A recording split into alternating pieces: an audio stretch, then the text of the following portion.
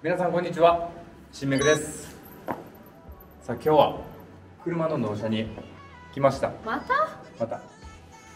あのー まあ、ご存知の方いらっしゃると思うんですけれどもギルバート君とお別れをいたしましてはい、ね、今回またあの別の子を迎えることになりました。では行きましょう。はい。はい。ではご紹介いたします。早速ですが。早速ですがギルバート2世です。同じゲレンデじゃん。そうあの似てるけど何が違う？違う。あの前は G350B でこれはちょっと兄貴になって G400B なんか色の違いしか全く私分かんないんだけど。うんもううんそれほぼほぼ正解。シートが高そう。シートが高そう。あちょっと高級感あるみたいな。そうそうそうそうそう。うん。合ってる？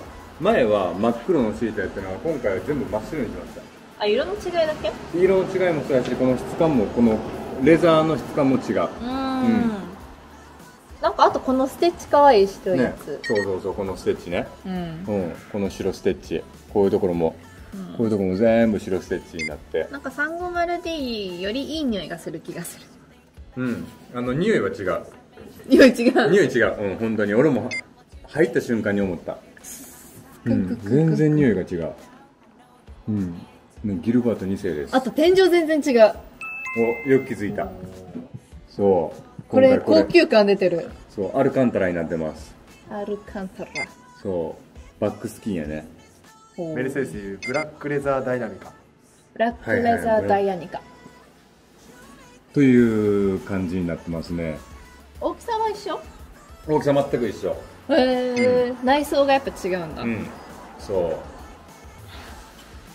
なるほど。そう。という感じですね。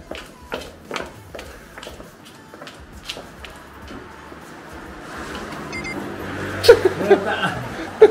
お花もらった。ねお花もらったね。夏なのかなって感じ。ねいいよね。うんこの時期にぴったり。ぴったり。ひまわり。違いはどこでしょうか？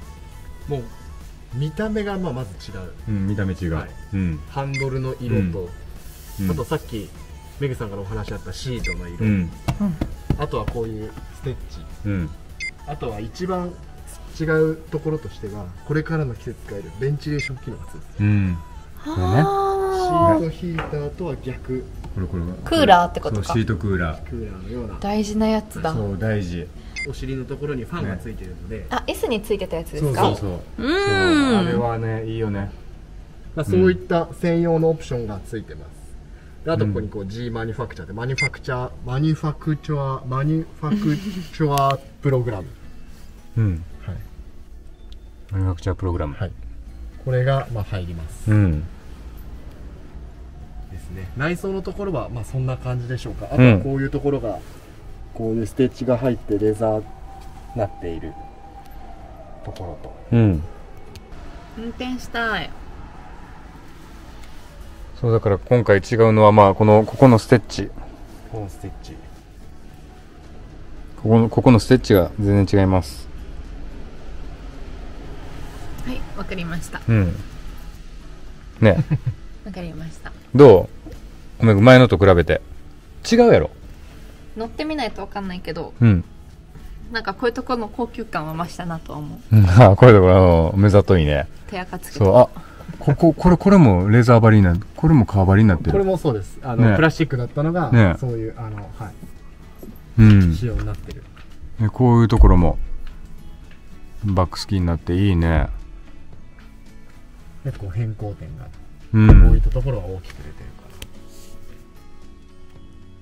から。あと前から見た後部座席真っ白。真っ白です、うん。本当に真っ白。ベージュじゃないね。白やね。これあのー G63 にあるマキアートベージュというタイプではなくて、もう本当にプラチナホワイトという、もううん。いわゆる本当にホワイト、うん。ホワイト。真っ白です、うん。はい。真っ白はいとい。うタイプですね、うん。いいですね。そうあとさっきちょっと気になったのがはい。今エンジンかけました。はい。ここここにアドブルーって出てる。これあの前なかったよ。なかったですね。ねえ。そうそうこれがなかった。他中での変更点っていうのは何か？中での変更点は基本的にもうあの特には正直ないです、うん。あとはこのうんこのここのシートが？そうですね。このシートっていうところを押していただいてえっ、とここですね。ダイナミックシート、リラクゼーション機能っていうのがでまあランバーサポートも動かせるようになってるし。ですね。うん。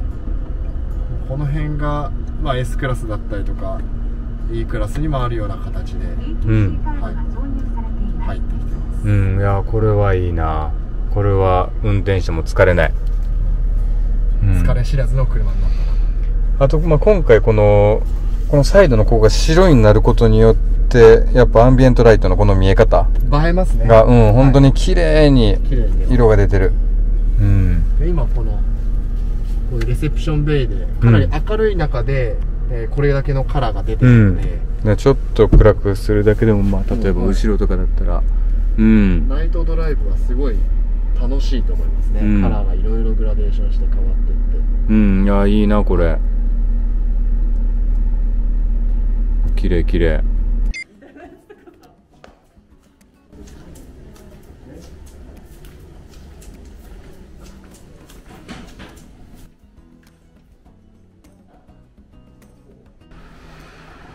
で今回はこれがオプションで白になってます。ボディ同色。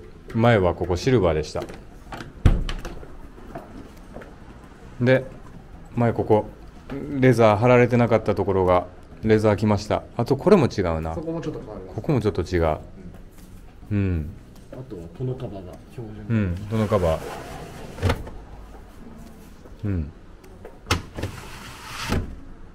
っていう感じ。であとはこの同色のこれがリビングに増えました。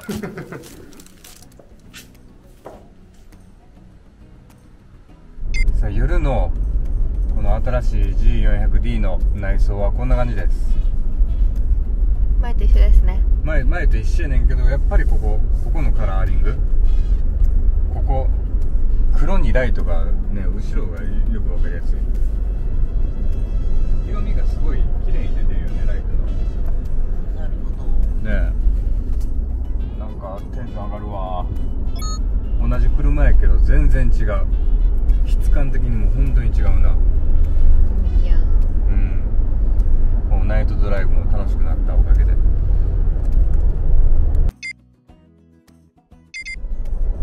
さあおめぐ新しい G400D はどうでしょいいですね。待っててちょっとテンション上がりますね。うテンション上がる？というのはどういうところがなんか白で可愛いからうん。ああの人可愛い車乗ってるって思うよきっとこれ。うん。白ね。こうこういう風に。外白。ねこのサイドも白。ズボンも白。いいよね。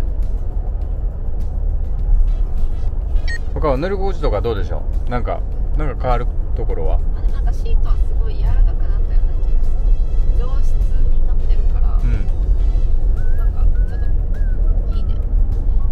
シート上質になったよね本当。そうやねこれ。ナッパレザーっていういいシートに変わってます。うん。柔らかくてだからもう車に入った時の匂いが全然違うよね。うん。新車の匂い。ねえ。前も新車の匂いや。でもなんかなちゃうな。新車の匂いじゃないよ。革の匂い。あ。頑張れ寝るな。では前回は G400D の試乗インプレッションです。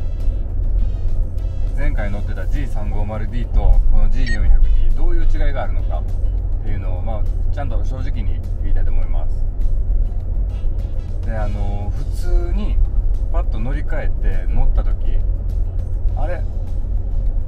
正直あんま変わらないかなと思いました。エンジンパワーとか。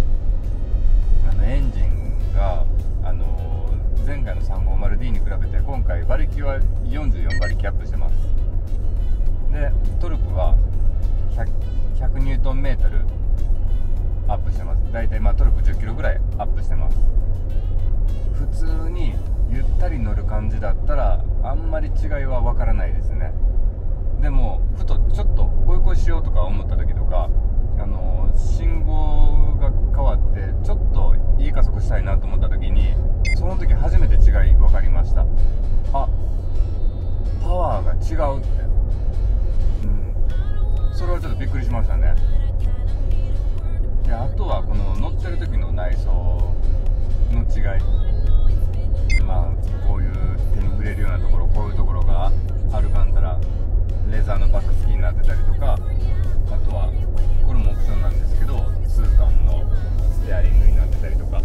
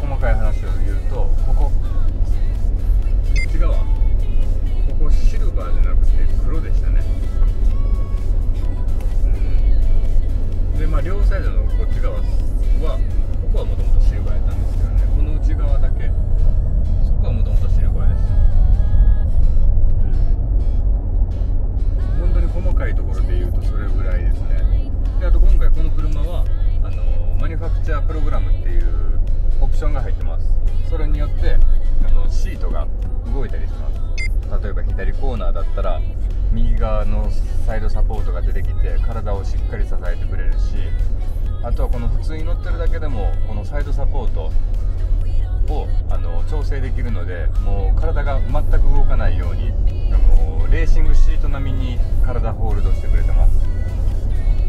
やっぱりここまで体ホールドされると長距離運転めちゃくちゃ楽になりますね、ね。うん。うん。本当にあのパッと見は同じ車のように見えるけどちょっとしたオプションが入る